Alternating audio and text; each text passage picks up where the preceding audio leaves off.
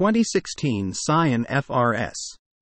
The 2016 Scion FRS, which later became the Toyota 86 due to Scion's discontinuation, was a compact sports car known for its lightweight design and driver focused performance.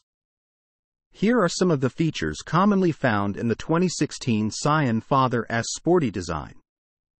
The FRS featured a sleek and sporty exterior design with a low profile, aggressive front fascia, and a coupe body. Its design paid homage to classic sports cars. Rear wheel drive. The FRS was a rear wheel drive vehicle, which contributed to its dynamic handling characteristics and allowed for better control during spirited driving. 2.0 liter boxer engine. The car was powered by a 2.0 liter horizontally opposed boxer four cylinder engine, known for its low center of gravity and balanced performance. It produced around 200 horsepower and was designed for a sporty driving experience. 6 speed manual transmission. A 6 speed manual transmission was the standard option for the FRS, emphasizing driver engagement and control. An optional 6-speed automatic transmission with paddle shifters was also available. Handling and suspension. The FRS was praised for its precise handling and balanced chassis. It featured a sport-tuned suspension system that provided responsive steering and agility, making it enjoyable to drive on twisty roads and tracks. Limited slip differential. The car often came equipped with a limited slip differential, enhancing traction and control during cornering and acceleration.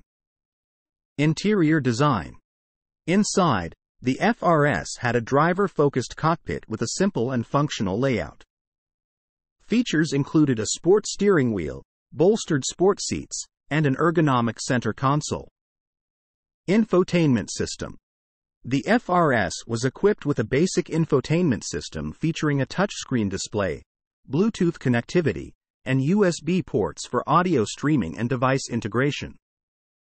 Safety features Standard safety features included anti lock brakes, stability control, traction control, and multiple airbags. Advanced safety technologies such as adaptive cruise control and forward collision warning were not typically offered, as the focus was more on performance. Customization and upgrades. The FRS was popular among enthusiasts for its modifiability. Many owners added aftermarket performance and aesthetic upgrades to enhance the car's appearance and performance. Affordability.